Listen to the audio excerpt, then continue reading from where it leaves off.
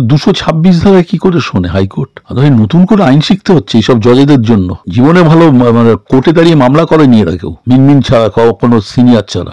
আয়ের উৎস কি মানে কি সোর্সে জিজ্ঞেস করছে? আয়ের উৎস তো অন্য লোক জিজ্ঞেস করবে। তুমি কলার কি, লিপস এন্ড মাউন্টসে কি হয়েছিল?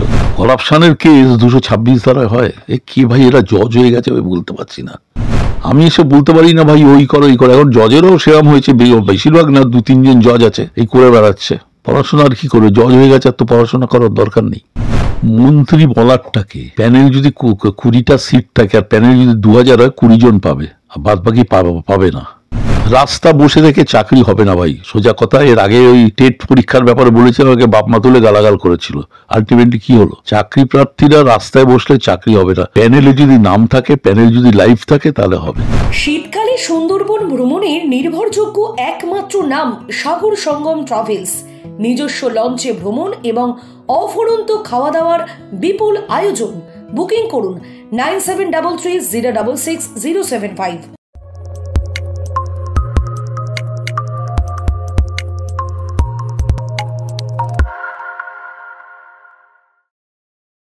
দার্জিলিংয়ে চা বাগান ঘেরা কমলালেবুর গ্রাম সৌরিনীতে এবং দাওয়াই পানিতে ঘরে বসেই কাঞ্চনজঙ্ঘার দৃশ্য উপভোগ করতে আড্ডাহাট হোমস্টে বুক করুন nine eight three six four double nine six seven eight নম্বরে।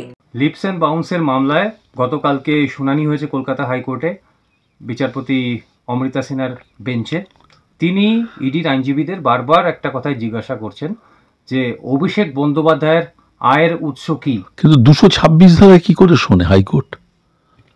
আদৌ নতুন করে আইন শিখতে হচ্ছে এইসব জজেদের জন্য? জীবনে ভালো মানে কোর্টে দাঁড়িয়ে মামলা করেনি এরা কেউ। মিনমিন ছাড়া, কোনো সিনিয়র ছাড়া।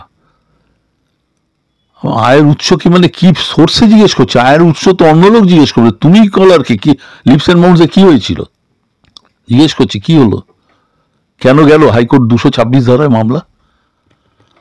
দুশো ছাব্বিশ ধারায় একজন যদি সরকারের বিরুদ্ধে কোনো অভিযোগ থাকে, তার সাংবিধানিক রাইট ওটা নষ্ট করছে বা হস্তক্ষেপ করছে তখন লোকে দুশো ছাব্বিশ ধারায় যায়।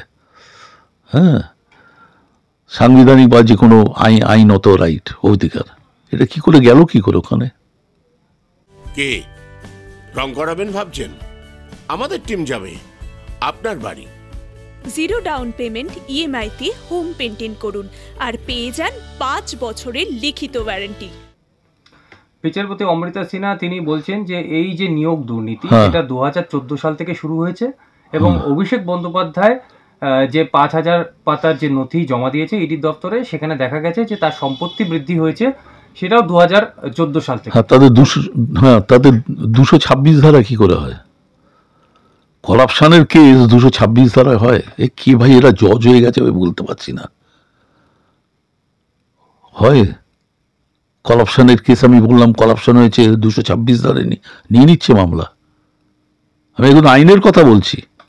আমার এখানে চেম্বারের বলতে কত লোক আসে, দারুণ মামলা দারুণ মামলা, ভাই দুশো ছাব্বিশ ধারে অধিকার নেই এটা জানা লোয়ার কোর্টে যান।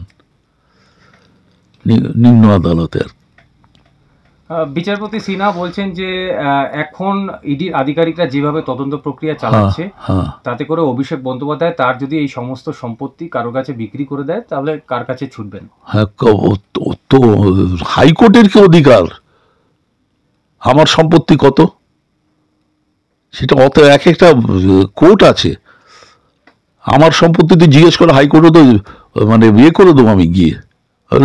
দেবো না। যা পালার করো। দুশো ছাব্বিশ ধারায় তোমার এখতিয়ার কি? টোটাল পলিটিক্যাল মোটিভেটেড হয়ে করছে। আপনার কথা তো কুণাল ঘোষের সঙ্গে মিলে যাচ্ছে কুণাল ঘোষ তিনিও বলছেন যে বিচারপতি সিনহা রাজনৈতিক আহ, একেবারে বায়াসলি কথা বলছেন। রাজনৈতিক দেখো রাজনৈতিক বায়াস নিয়ে করলে একটু বুদ্ধি করে করলে নিশ্চয়ই করা যায়। এতে পড়াশোনাটাই নেই। পড়াশোনাটা নেই। কি করব আর বলো? দুশো ছাব্বিশ ধারার যে পড়াশোনাটা যে কোথায় প্রয়োগ করা যায় কোথায় করা যায় না সেই ধারণাটা নেই।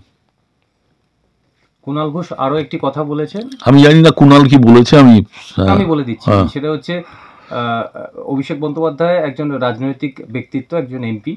তিনি তার সম্পত্তির খতিয়ান জমা দিয়েছেন রাজ- হলফনামায়। সুতরাং সেখান থেকে যদি দেখা হয় আর সেখানে মামলা সেটা আলাদা ফোরাম তাই তো বলছি দুশো ছাব্বিশ ধারায় করে কি করে? এবং হাম হ্যাঁ হাম জজ হ্যাঁ হয়ে গেল? হয়ে গেল করা বলতে পারে নাকি?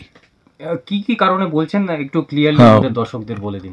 আমি কি কি কারণে বলব? দুশো ছাব্বিশ ধারা দুশো ছাব্বিশ ধারায় যদি দেখা যায় যে আমার কি বলব স্বাধীনতা মানে সাংবিধানিক স্বাধীনতা যদি খর্ব করে কেউ বা আমার আইনত অধিকার যদি সরকার খর্ব করে আমি দুশো ছাব্বিশ ধারায় যেতে পারি।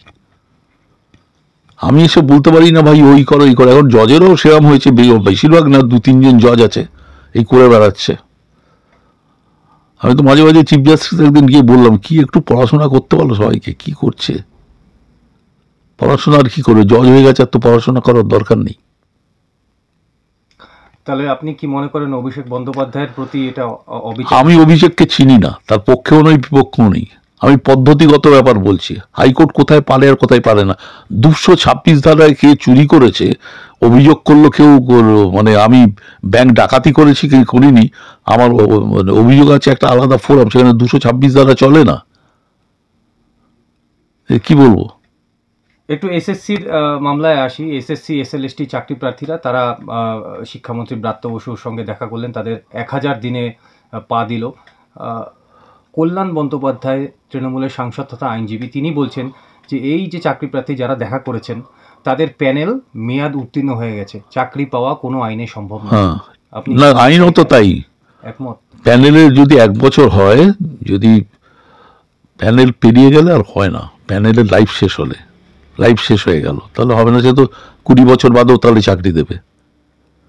এটা জেনারেল লাইন এবার দেখতে হবে ভিতরে মেরিটে দেখতে হবে।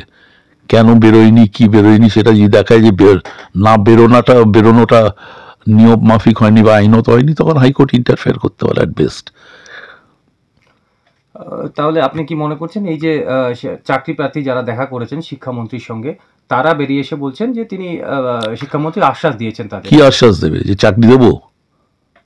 কে পাশ করেছে কে করেনি শিক্ষামন্ত্রী জানে? সে তো প্যানেলে বেরোবে। প্যানেলে যদি কুড়িটা দু হাজার লোক থাকে কুড়িটা সিট কুড়িটার বেশি দিতে পারবে না। মানে খালি পথ থাকলে। এর বাইরে যাবে কি করে? শিক্ষামন্ত্রী নিজেও বলেছেন যে এটি একটি আইনি জটিলতায় বাধা হয়ে দাঁড়িয়েছে। এই আইনি জটিলতা কেটে গেলে তাদের সেটা আমি জানি না কি জটিলতা? কেউ হয়তো মামলা করেছে কি করেনি আমি জানি না। কো- চাকরি প্রার্থী তাহলে কি তাদের কে মানে মিথ্যে ভোটের আগে শুধুমাত্র আশ্বাস দেওয়া হচ্ছে? আপনি এটা কি মনে মন্ত্রী বলারটাকে, প্যানেল যদি কুড়িটা সিট থাকে আর প্যানেল যদি দু হাজার হয়, কুড়ি জন পাবে। আর বাদ বাকি পাবে না। এই মন্ত্রী বলার কেউ তো প্যানেল আছে, প্যানেল দেখলেই হলো যে প্রথম কুড়িটা সিট থাকলে প্রথম কুড়ি জন পাবে। তার মধ্যে শিডিউল কাস্ট, শিডিউল টাইপের যে রিজার্ভেশন আছে, পাবে। বিরোধীরা বারবার বলছে যে বেশ কয়েকজন আইনজীবী তারাও বলছেন যে, যেহেতু এটা এক্সেপশনাল কেসের কথা বলা হচ্ছে বেআইনি ভাবে নিয়োগ হয়েছে, তাই এক্ষেত্রে তাদেরকে চাকরি দেওয়া সম্ভব। বেআইনি কি প্রমাণ হয়েছে? তাহলে বেআইনি প্রমাণ হয়নি। আমি জানি উকিল বলে দেয়, ঠিক আছে বেআইনি কোথায়? প্রমাণ তো হবে। প্রমাণ তো হয়নি। অভিযোগ অভিযোগ আর প্রমাণ দুটো আলাদা। এই তাহলে চাকরি প্রার্থীদের রাস্তা কি সেই রাস্তাই? রাস্তা বসে রেখে চাকরি হবে না ভাই। সোজা কথা এর আগে ওই টেট পরীক্ষার ব্যাপারে বলেছিল আমাকে বাপ মা তুলে গালাগাল করেছিল। আলটিমেটলি কি হলো? চাকরি প্রার্থীরা রাস্তায় বসলে চাকরি হবে না। প্যানেলে যদি নাম থাকে প্যানেল যদি লাইভ থাকে তাহলে হবে। এবং যত যে কটা খালি থাকবে পোস্ট সেইখানেই নিয়োগ হবে। তো আপনার কথায় তো চাকরি প্রার্থীদের মনোবল আমি মনোবলের ওপর বলি না তো ভাই। আমি একদম আইন আইনের কথা বলছি। আইনের কথা বলছি। প্যানেলটা কোর্ট থেকে যদি বলে না ভাই ভুল হয়েছে কোনো এক কারণে কোর্ট ধূপ করে বলতে পারে না যে প্যানেল এক্সটেন্ড করা যায় কোর্টেরও ক্ষমতা নেই।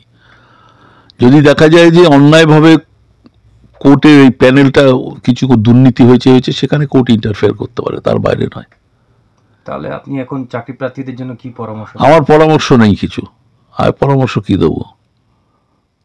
কোর্টে যাওয়া। হ্যাঁ আর যেটা হয়েছে, এখন যেটা হয়েছে, আমরা যারা রাজনীতিবিদ করি, এখন আমি পুরোপুরি করি না ইগনোরেন্স ই স্ট্রেংথ অজ্ঞতাই শক্তি, যা পারছি বলে যাচ্ছি বাজারে, বিরোধী যা পারছি আ চাকরি হয়ে যাবে মিটিংয়ে গিয়ে বলে এলাম, চাকরি হবে? আমি মন্ত্রী, নেতা সব বসে আছে, অত লোক যদি ভোটের ব্যাপার আছে, গিয়ে বলে এলাম, চাকরি হয়ে যাবে। হবে? সে একটু করুক না গিয়ে। হাওয়া দেওয়া খালি